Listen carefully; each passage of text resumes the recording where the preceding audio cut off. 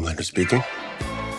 And that is why, as my first official act under Article 1, Section 9 of the Constitution, I am declaring martial law and deputizing hundreds of superheroes nationwide who will report directly to Homelander himself.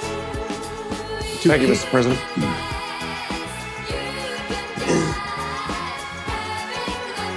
Victoria Newman. Great American, a dear, dear friend. Murdered in cold blood by deep state starlighters embedded in our own government. Now that we have full legal authority, a veritable army of superheroes will be called upon to rout these traitors from our government and from our streets. America will be safe again. And to the Starlighters, whatever rock you're hiding under, we're coming for you. I'm coming for you. Because today, a new age of superheroes begins.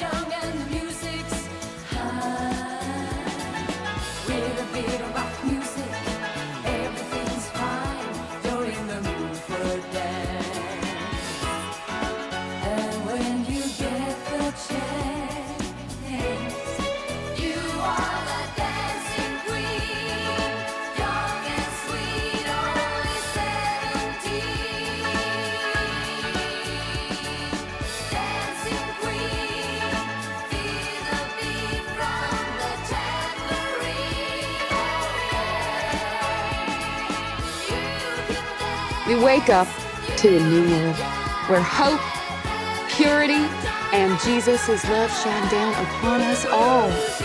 Where children can sleep peacefully in their mother's arms, knowing Starlight's pedo agenda has been thwarted.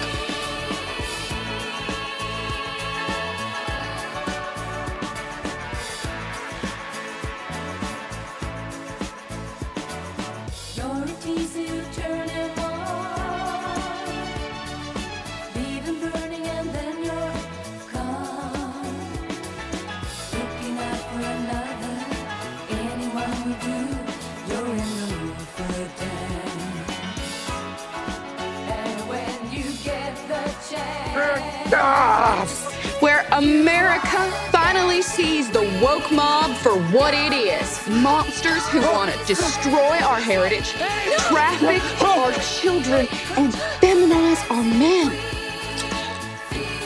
Where, with Homelander's guidance, we will all come together in unity.